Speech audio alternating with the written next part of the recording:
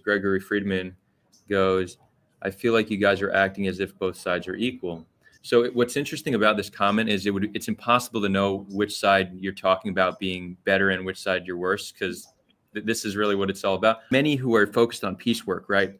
They, they look at things through the the lens of humanism and that all life is of equal worth. Uh, and and that's how conversations like this happen because it's not like it's not about pointing fingers and blame. It's about understanding that if we could value life equally and find a path forward that really cherishes life and and come comes to the table with a solution um, that not only is practical but that values human life across the board, then that's really the, the best path forward.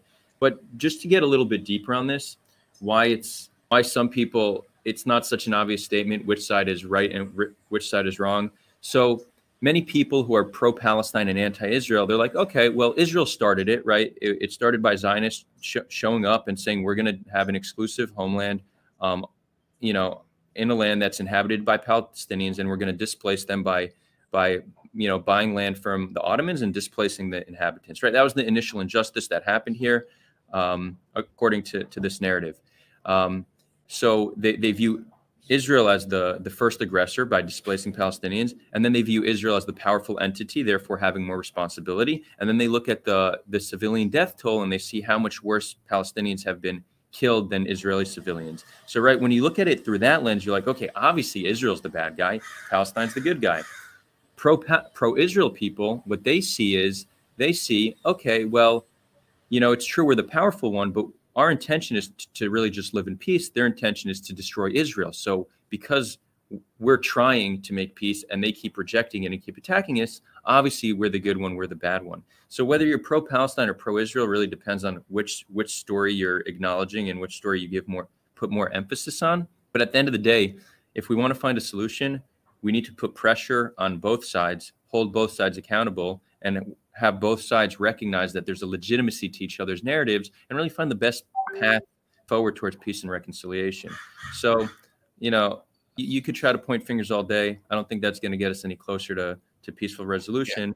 Yeah. Um, so yeah, and Aziz, feel free to to build on that. Yeah, I, I think what we're talking about is the current crisis, current situation. I think in general, if we were talking a different time, we'll be talking more probably about the occupation and the system and all of that. And last time we talked, that was more of the conversation. So I think it really depends also on when we talking and what's important at that moment. Right now, what I find most important is what we um, is what we can do to stop killing. That's I think the most important and that means in Gaza, that means in Israel, that means in the West Bank. I mean, we talking about Gaza and Israel right now, but there's what 20 people being killed in the West Bank in the last uh, in the last week, um, and those are not in the news at all because 20 people compared to so many others in Gaza and in uh, south of Israel, it's not even in the news anymore.